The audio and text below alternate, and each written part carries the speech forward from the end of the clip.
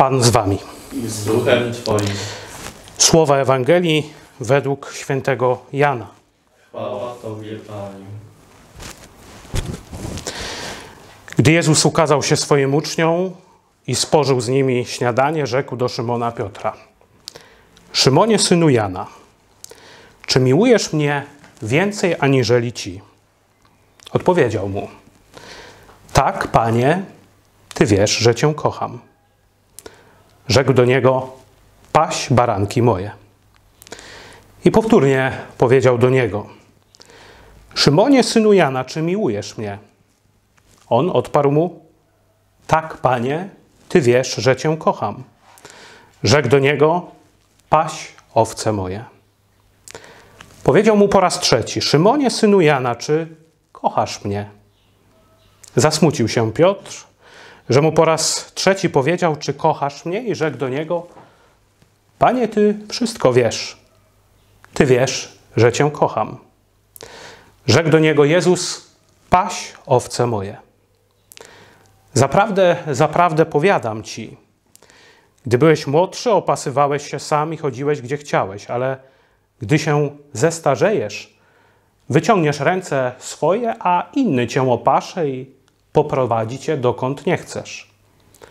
To powiedział, aby zaznaczyć, jaką śmiercią uwielbi Boga.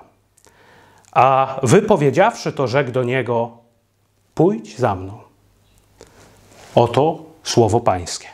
Chwała Tobie, Chryste. Niech słowa Ewangelii zgładzą nasze grzechy.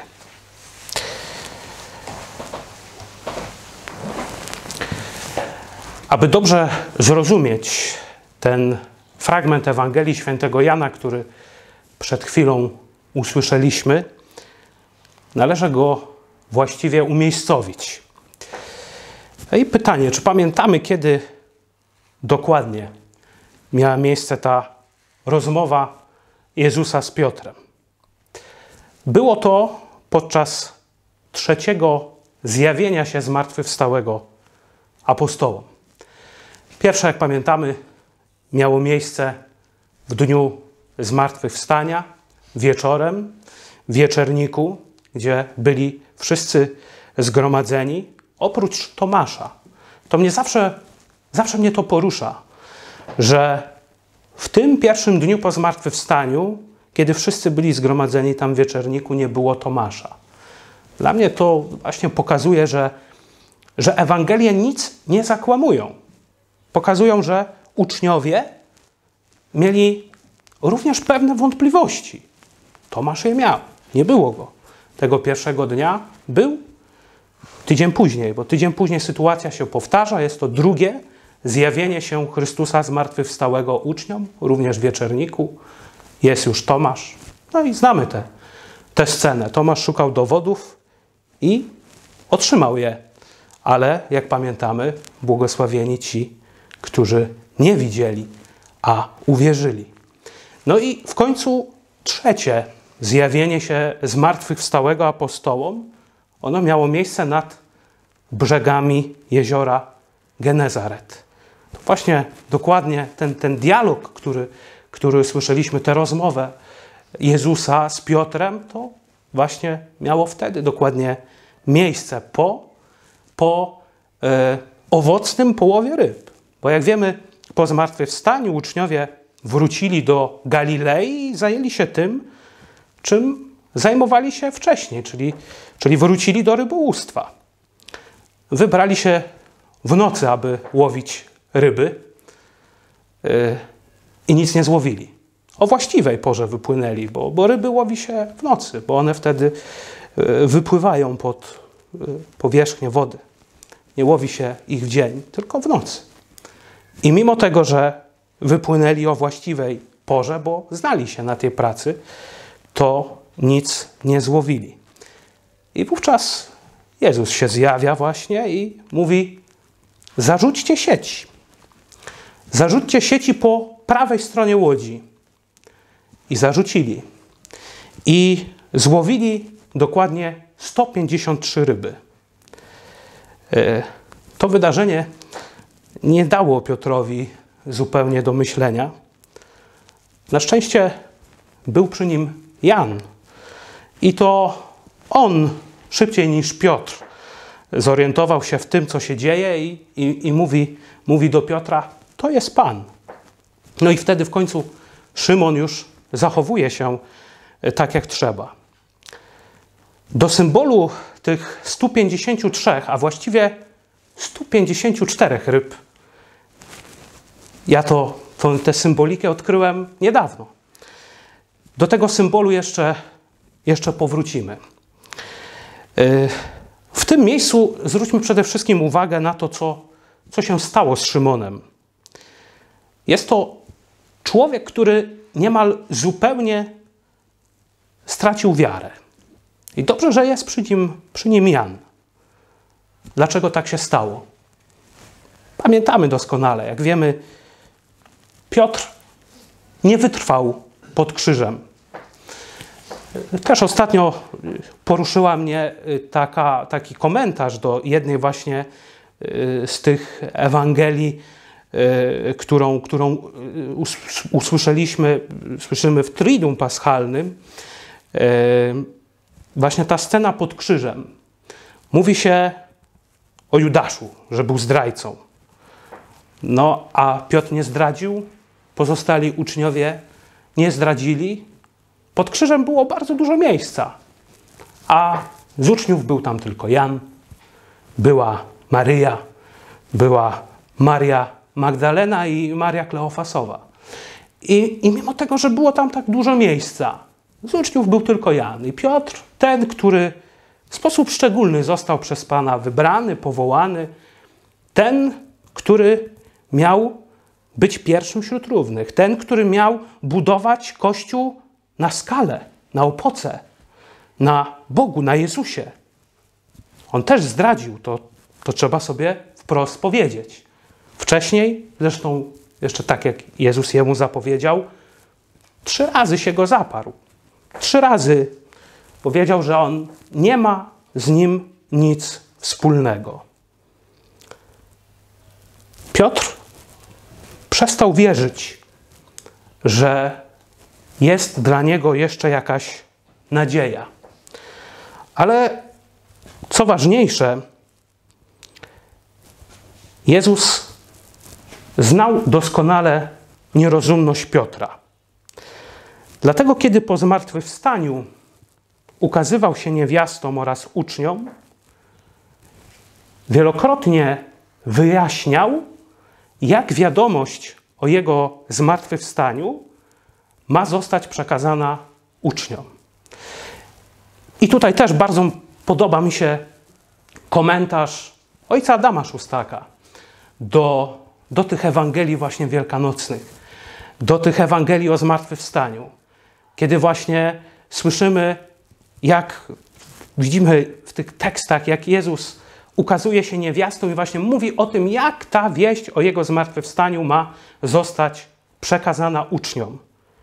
I on zawsze mówi: przekażcie moim uczniom i Piotrowi. Jakby chcąc podkreślić, aby ta wieść o jego zmartwychwstaniu koniecznie została przekazana Piotrowi. Ta cząstka właśnie i Piotrowi to jest genialny sposób komunikacji Jezusa z Piotrem.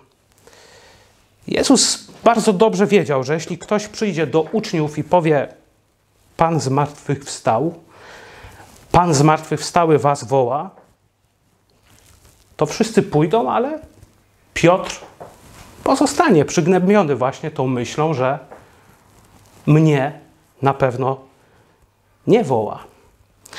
I to właśnie tam, nad jeziorem galilejskim, podczas trzeciego ukazania się zmartwychwstałego uczniom, Piotr uświadamia sobie, że, że Jezus cały czas o niego, o niego walczył.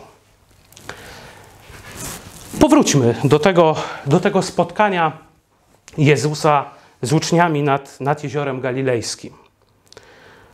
Uczniowie na polecenie Jezusa za, zarzucają sieci i wyciągają 153 ryby. Ale ryb nie było 153, bo tam na ognisku smażyła się jeszcze jedna ryba. Ryb było w sumie 154.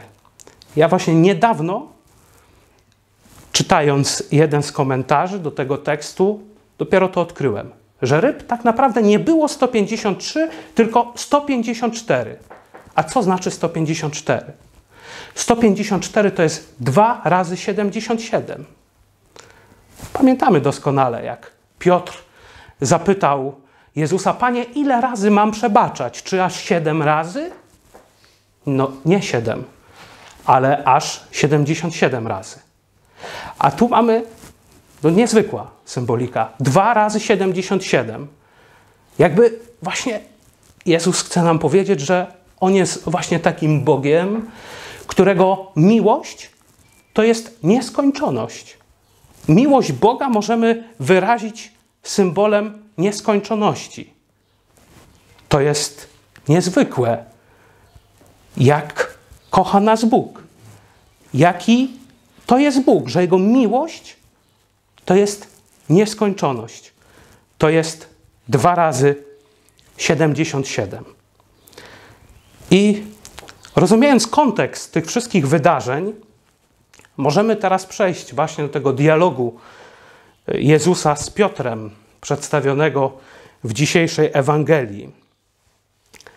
Jezus jednoznacznie przypomina Piotrowi moment, w którym, w którym ten trzy razy się go zaparł. Szymonie, synu Jana, czy miłujesz mnie więcej, aniżeli ci? Jezus nie mówi do niego Piotrze, ale Szymonie. Szymonie, synu Jana. Dlaczego? Bo, bo to jest pytanie o miłość. Czyli to jest pytanie, które jest skierowane do osoby, do człowieka, a nie jest to pytanie, które jest skierowane do urzędu. Jezus, Bóg, każdego z nas zna po imieniu i, i dziś to pytanie kieruje do każdego z nas. Waldemarze, Mariuszu, Piotrze, czy, czy kochasz mnie? I, I nie można jemu odpowiedzieć, tak, kocham cię, bo jestem biskupem, tak, kocham cię, bo, bo jestem księdzem. Potrzeba nam zrozumieć, że całe dzieło Boga rozwija się mocą Chrystusa, który jest pasterzem. I trzeba nam go kochać całym swoim sercem, z całej swojej duszy, ze wszystkich swoich sił. Tak jak powiedziałem, Chrystus każdego z nas zna po imieniu i dziś wypowiada właśnie to, to imię każdego z nas, a szczególnie imiona tych pogubionych i, i pozbawionych wszelkiej nadziei. Jezus nas woła, bo to jest Bóg, którego miłość do nas to nieskończoność, czyli właśnie dwa razy 77. Jezus każdego poranka prosi, byśmy go nakarmili, byśmy z nim byli i przyjęli jego łaskę przebaczenia. Nawet już jeśli tysiące razy przyjmowaliśmy tę łaskę przebaczenia od Jezusa, On nigdy się nie zniechęci. I każdego ranka, tak jak tam stał na brzegu jeziora galilejskiego, tak każdego ranka będzie stał na brzegu naszego życia. Niech się tak stanie. Amen.